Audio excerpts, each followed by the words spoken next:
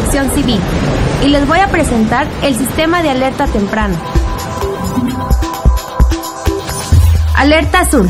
Se anunciará cuando el huracán se encuentre a tres días de posible afectación. Alerta verde. Significa que el huracán afectará a la isla en menos de tres días. Alerta amarilla. Indica que el huracán podría impactar en dos días o menos.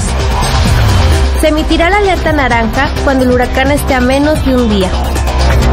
El color de la alerta roja señala la llegada inminente del huracán.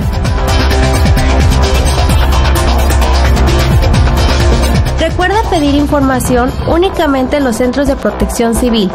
Para más información, comunícate a los siguientes teléfonos